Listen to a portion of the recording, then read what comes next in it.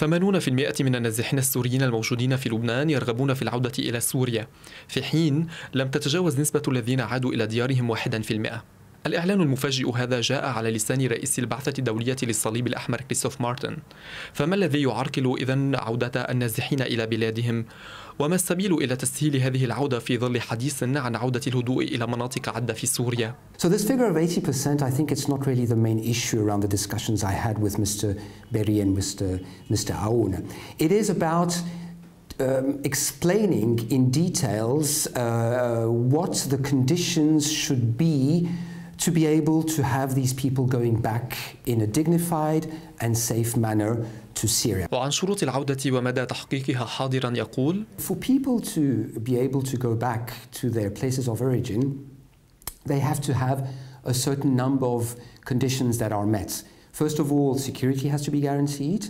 They have to have a dignified return, which means that they have to, have to be able, sorry, to go back to places of origin where infrastructures are in place education, school, judicial system, etc., etc. And all these people basically have one desire.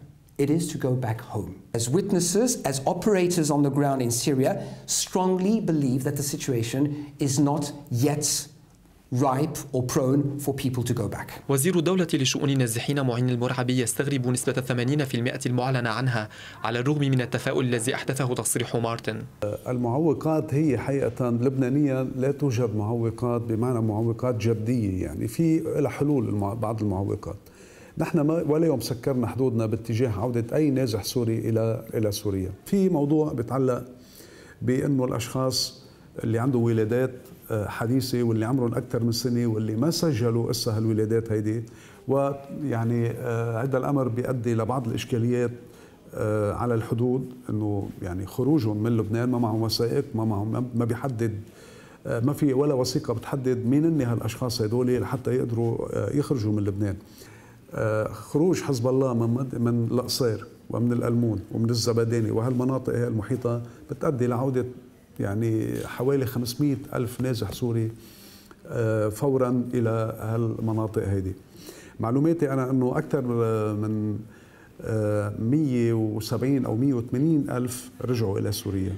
بينما ال 60 ألف هن ذهبوا إلى آه، بلاد أخرى. أنا بالنسبة لهذا الموضوع على كل حال نحن سبق وطلبنا النظام السوري. إذا كان حريص على مواطنينه أنه يدعيهم أنه يرجعوا يعمل اعلان بأنه يرجعوا هذا الحديث يأتي في ظل أجواء ومعلومات شبه مؤكدة حصلت عليها الجديد تفيد بوجود خطة جادة بشأن حل جذري لأزمة النازحين سيبصر النور خلال الاشهر الثلاثه المقبلة تمهيدا للعودة المنتظرة. فهل تزهر عودة النازحين هذا الربيع؟